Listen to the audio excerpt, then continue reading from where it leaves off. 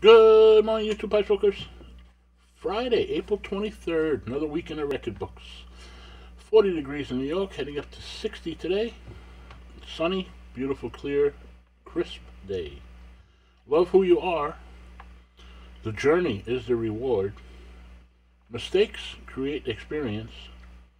Know when to stop and think faster than you act.